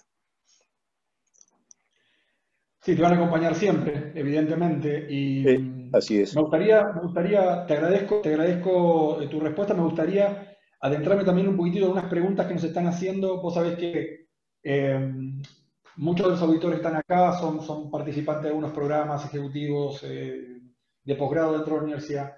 Y, es obvio que, que, las palabras que más nombraste, muchas que nombraste, muchas, nombraste mucho la mente y nombraste mucho la incertidumbre y me siento obligado casi, digamos, tenemos muchas preguntas acerca de eh, qué es para vos la incertidumbre, eh, dado que eh, vos sabés que si uno le pregunta en realidad a la gente que, está viviendo en este momento esta incertidumbre, tiene determinados juicios, ¿no? luego de este aprendizaje que hiciste vos, tremendamente importante, ¿qué te queda como último sabor de lo que es la incertidumbre? que nos puedas contar, que nos puedas este, contagiar un poquitito a nuestros líderes, ¿no? Los que están escuchando esta, sesión. ¿Cómo valoras la incertidumbre? El sentimiento de incertidumbre, como todos sabemos, y en este momento más que nunca, es, es, realmente muy, muy difícil de, de, sobrellevarlo, muy angustiante. Es la incertidumbre, no saber exactamente qué va a pasar el día de mañana, que era absolutamente lo que nos pasaba a nosotros. Que también tiene mucho que ver con este momento, porque no sabíamos si nos íbamos a morir el día siguiente o a la, o a la hora, o te ibas a quedar solo, con todos tus amigos se iban a morir, que en este momento tiene, tiene mucho que ver. Y una de las, las maneras que teníamos de, ir eh, soportando esa incertidumbre era estar convencidos, como dije ya varias veces, ya no, recién, de que íbamos a, lograr, el objetivo. sabíamos que tarde o temprano íbamos a llegar a casa sí o sí. O sea que la incertidumbre era de cuándo, cómo, cuánto más íbamos a tener que sufrir, nos iba a caer otra avalancha, etcétera. Y además eh, los eh, objetivos diarios, ¿no? Eso, eso, era muy importante también, que eso también lo estoy poniendo en práctica ahora con esta incertidumbre de la pandemia. O sea, hoy me levanto, voy a hacer esto, esto y esto, eh, eso, eso concreto, seguro, es lo que voy a hacer hoy, y cuando termine el día voy a estar contento porque hice esto y esto, y pinté, corté el pasto, y mañana veré, y dentro de un mes, bueno, es, es una incertidumbre, pero cuando realmente se normalice todo, voy a seguir haciendo tal cosa o tal otra. En definitiva, siempre la incertidumbre la acompañamos con otras cosas, ¿no? con, eso de estar pensando en el objetivo, estar eh, creando, tratar de no tener, a pesar que en la cordillera también me han preguntado muchas veces y es una cosa muy curiosa, de si no nos aburríamos. Yo no, tengo la sensación de, haberme aburrido nunca. Y estamos horas y horas y horas y días y noches eh, sin hacer nada, ¿no? más que con la mente pensando y pensando y pensando o la, mente que se te iba esos estados de meditación. O sea que tengo siempre la mente ocupada y eso para mí es fundamental para, bancar los momentos de incertidumbre. No estar siempre con esa angustia pensando qué va a pasar en el futuro próximo, mañana o, cuando sea. Llenarte la cabeza, tener actividades, estudiar, pensar, leer, ver cine, estar, charlar con gente, por, por la manera que sea. Pero sí, la incertidumbre realmente es, muy difícil, eh, muy difícil controlarla y, y manejarla. Pero yo creo que de esa manera... Finalmente, finalmente lo que estabas hablando es que la incertidumbre, o sea, ¿estaba adentro o no estaba adentro? Vos, eh, vos hablaste un poquito también de cómo fueron cambiando algunos tipos de liderazgo y parece que una de las características eh, eh, que hace que se cambie el liderazgo cuando se pierde esa capacidad de, mantener ese objetivo fresco y, lo toman ustedes tres, ¿no? Como que, como que en realidad tenía que ver con quién a ver quién puede mantener en el grupo eh, la, visión de futuro, ¿no? Eso, eso lo estudiamos bastante, ¿no? En nuestro programa, sí. Y eso me hace preguntar la última, eh, la última, la última cosa que me encantaría es, eh, es conocer. Mira, Eduardo, hay, hay, un montón de modelos de liderazgo, hay no sé cuántos papers te pueden aparecer si pones leadership en un buscador. Em, sí. Pero en algún momento, en un momento voy a condensar todo lo que estás hablando y vamos a hacer el modelo liderazgo Strauch, ¿está bien? El modelo liderazgo Strauch, hay un montón, ¿eh? Moutón, Blake, adaptativo, técnico y transformacional, hay, hay, un montón. Pero yo creo que necesitamos un río platense que nos haga un decálogo, tampoco ahora un decálogo, vamos a estar mucho tiempo, pero ¿qué tiene que aparecer? ¿Qué tres o cuatro palabras tienen que aparecer en el modelo Strauch de liderazgo? ¿Qué crees vos? ¿Qué palabras tienen que estar ahí? Confianza, es fundamental que la gente a la cual lideras te tenga confianza. Eso para mí es, esa es la, primera.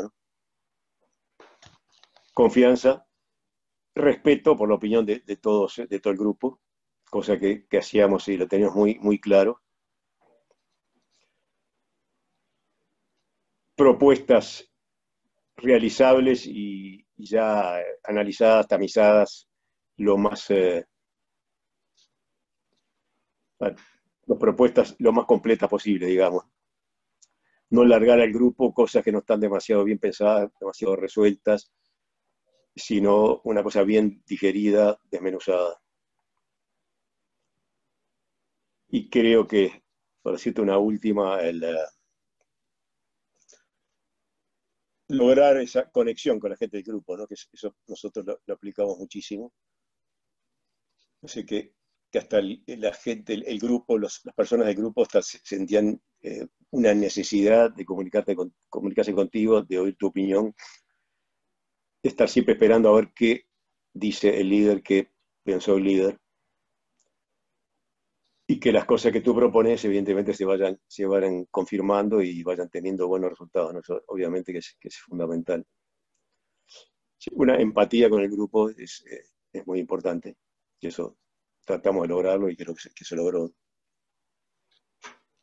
¿Sabes que, para, terminar, ¿sabes qué, qué le dicen? Eh, ¿Cómo se dice en el ámbito de los negocios todo lo que vos estás hablando? Se le dice habilidades blandas. ¿Habilidades qué? blandas, soft skills. Ah, ah, ah.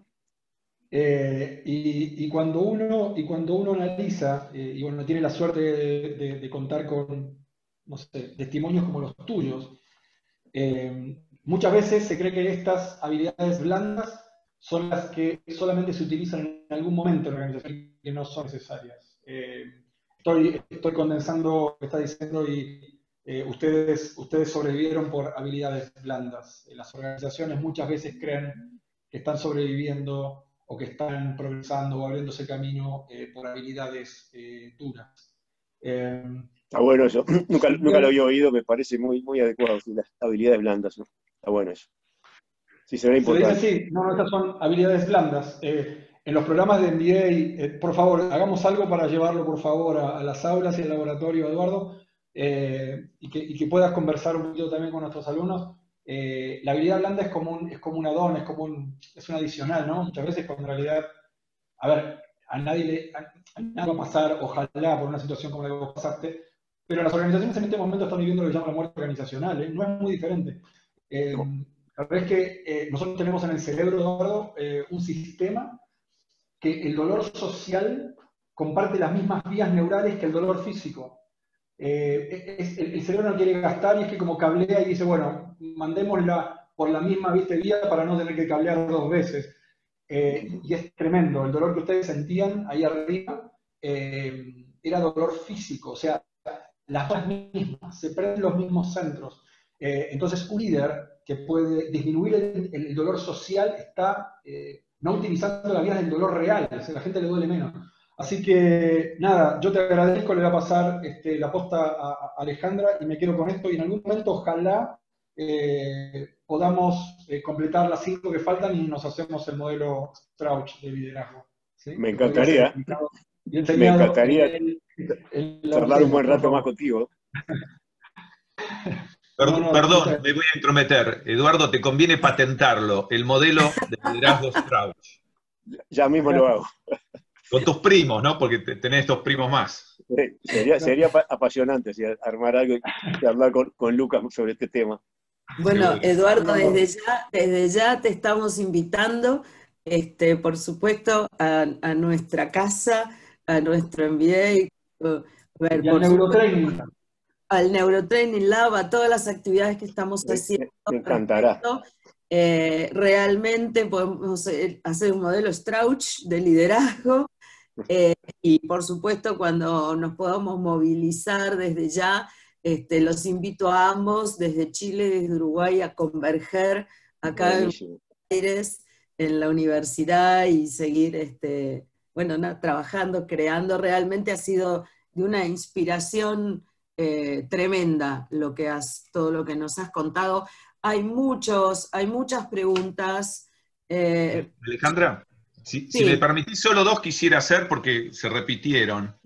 Sí. Para darle una cuota. ¿Qué pasó con el cartel Exit, si lo seguís teniendo? ¿Y qué pasó con el saco? Ah, muy, muy interesante. Mira, el cartel Exit, cada vez que me, que me acuerdo, me, me da una bronca espantosa porque se lo, llevó mi hija mayor al colegio para un trabajo que tenía que hacer, bueno, algo, algo de, mi historia, por lo visto. Y yo no me enteré porque ni me lo dio por permiso, porque no se lo hubiera permitido.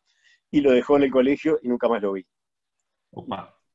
El otro día hace poco hablamos y casi, casi, la mato de vuelta, 30 años después.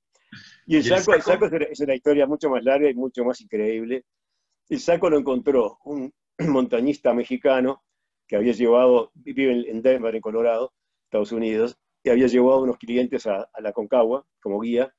Tuvo dos días que le, quedaban antes de volver a, Estados Unidos y era apasionado de la historia nuestra, se había leído cuánto libro había de, su infancia, había visto todas las películas y documentales. Entonces resolvió ir al lugar del accidente nuestro con un guía argentino que fueron, subieron solos hasta casi 5.000 metros al lugar del impacto del avión y empezaron a encontrar restos de, fierro, de aluminio, etc. Y de repente, en unas rocas, entre unas rocas, ese año justamente era en enero, en enero o fines, fines de enero, se había descongelado el hielo y la nieve, probablemente después de 20 años, y ve unos trapos azules mezclados en unas rocas que pensó que eran restos humanos. Se arrima con gran impresión, se empieza a sacar las, las rocas, abre los trapos, un blazer azul, con un bolsillo, mete en el bolsillo, aparece una billetera y un pasaporte, abre el pasaporte, Eduardo Strauss. Y luego decía que no, podía ni creer, que era como si hubiera encontrado la, capa de Superman, una emoción impresionante, entonces baja la billetera y el pasaporte, por un amigo común en Mendoza, un amigo que yo tenía, que estado conectado con él, me llaman, atiendo la llamada, estaban un lunes de tarde, me acuerdo perfectamente, a las 3 de la tarde, estaba en el estudio yo trabajando y me, me habla Osvaldo, el amigo este de Mendoza, che, Eduardo, tengo una guita para darte. Dice, ¿qué pava me vendrá? Estoy en otra. ¿Para qué te paso con un amigo? Me pasa este amigo, a hablar en mexicano, a contarme toda esa historia, con una emoción que dije, a la pucha, ¿esto qué es? Pues había encontrado mi saco 33 años después, ya 5 minutos. Entonces, por supuesto, le agradecí mucho, al final nos terminamos conociendo en, México, nos hicimos muy amigos, él tiene una empresa de, montañismo y dice que organiza las expediciones todos los años. Y cuando lo encontré en México le dije, ¿por qué no me bajaste el blazer? Y no, los montañistas tenemos esa, esa cosa de que cuando encontramos algo en la montaña la respetamos y la dejamos. pero si querés te lo voy a buscar. Y dije, por supuesto. Entonces al año siguiente fuimos con un grupo de gente de, de todas partes del mundo. Subió Tabatón lleno de, de, nieve y hielo como había estado los últimos 30 años. Al año siguiente, por segunda vez, volvimos, lo mismo, estaba todo tapado. Y la tercera vez fue la vencida, subió con un boquitoque, es muy peligrosa la zona esa, además le, rodaban rocas enormes y estuvo en situaciones peligrosas. Y me avisa por el boquitoque, encontré tu saco. Y ahí me lo bajó al Blazer hecho girones, que actualmente está en el museo en Montevideo, así que si vienen por acá lo pueden, lo pueden llegar a ver. Y me lo probé y me quedaba bien, que me quedé encantado, además de todas las demás emociones. Y eso fue como encontrarme de vuelta, conectarme con la historia, fue una cosa rarísima, una cosa, una emoción, una cosa extrañísima. Ese blazer además que también como una herramienta que nos, a todos nos pasó de distinta manera, esa horrible noche del 13 de octubre del 72, la más horrorosa de mi vida, en algunos momentos me desconectaba del horror, de los muertos alrededor, etcétera, y pensaba, ay, ese blazer lo compré para el viaje a Chile, es nuevo y lo perdí, qué bronca. Y me quedaba unos minutos pensando en ese terrible problema en esa noche. Nunca imaginé que iba a recuperarlo. Bueno, podemos hacer también un modelo Blazer Strauch, para darle otro, otro. Estamos sacando muchos aprendizajes. Bueno, me gustaría terminar primero agradeciéndole a Lucas que está en, en, en, Santiago, a Alejandra que está acá en Buenos Aires, pero por supuesto a vos, Eduardo, por esta hermosa charla que nos diste. Te comento que tengo más de 200 eh, chats de agradeciendo lo interesante, bueno. lo profundo. Eh, realmente una charla inolvidable para nosotros. Pero como me gusta, terminar, me gusta terminar las charlas, te quiero dejar, primero agradecerte nuevamente, quiero dejarte la última palabra, que sea una palabra de aliento, un mensaje, un mensaje final para todos. Mira, yo lo que les diría, que ya un poco lo, lo dije a través de, esta, de, este rato, que tenemos, que, que, es una de las cosas que me impulsaron a, a dar estas charlas eh, más en público y más profesionales, a que seamos conscientes de las capacidades que tenemos.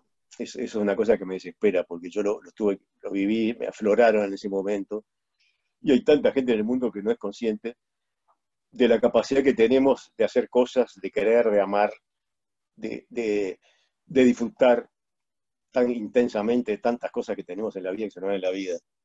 O sea, sepamos eso que es así, pónganlo en práctica, utilicen sus mentes para todo.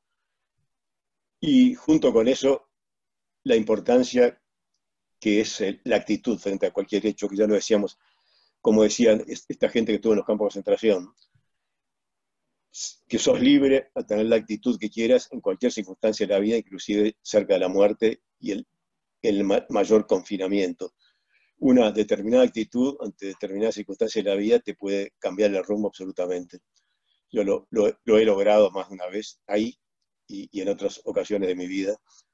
Así que sepamos y, apliquemos esa actitud y podemos realmente cambiar el, el rumbo de nuestras vidas y, ser los más felices posibles. Yo he aprendido, tantas cosas que he aprendido, es sé claramente cuáles son las cosas que me hacen feliz, que son pocas y sencillas, y bueno, y eso trato de aplicarlos, y a pesar de todos los problemas que tengo, como todo el mundo, en esta vida, eh, realmente disfruto mucho de, de, muchas cosas porque sé cuáles son las que me hacen feliz. Así que arriba, la pandemia va a terminar y vamos a salir enriquecidos y siempre de todas estas situaciones eh, tan difíciles siempre se sacan cosas positivas, eso también es, es una cosa absolutamente constatada. Muy lindo. Gracias, Eduardo. Gracias a todos y, y, nos veremos en la próxima. Muchas gracias, Eduardo. Muchísimas gracias. Gracias, hasta pronto. Muchísimas gracias. a todos. Muchísimas gracias.